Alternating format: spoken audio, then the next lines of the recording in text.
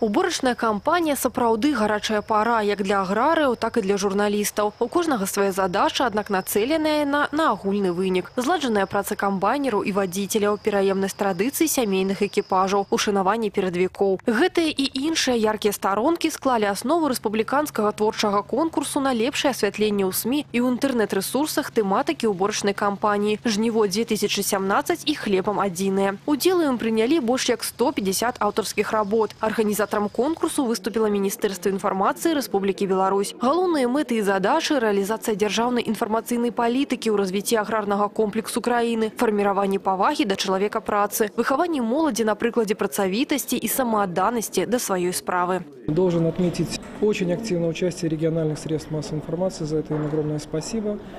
Э, Ну, по-другому, думаю, и быть не, не могло, потому как они ближе всего находятся к человеку труда, к сельскому жителю. Широко и хорошо раскрыта тема, потому как использовались разные жанры журналистики. Журналистика факта, аналитика, в общем-то, интервью, комментарии. Э, Все возможные э, инструменты были, э, скажем так, задействованы.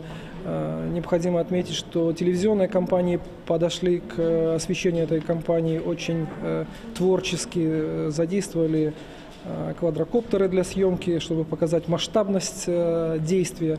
В общем-то, я думаю, что потрудились на славу точно так же, как и хлеборобы наши журналисты.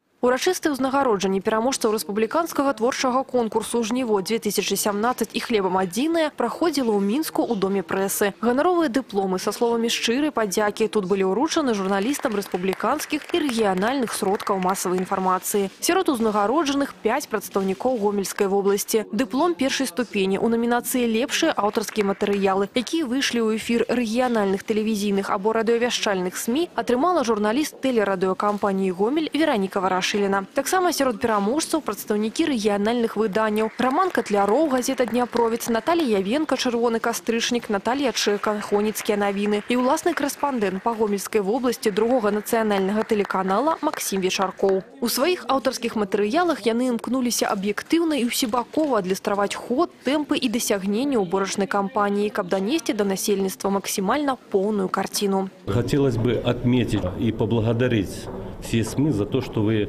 э, нормально, доступно для народа освещали те все результаты, которые э, или ход полностью э, полевых работ, э, работы в сельском хозяйстве, для того, чтобы народу было доступно не только там где-то, извините, как можно сказать, там а определенные ситуации, там где-то что-то не убрали или что-то там не сделали, а реально э, почему, как и что. Я думаю, что доступность информации была обеспечена.